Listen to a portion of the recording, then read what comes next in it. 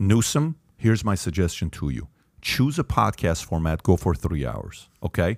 And do it this way.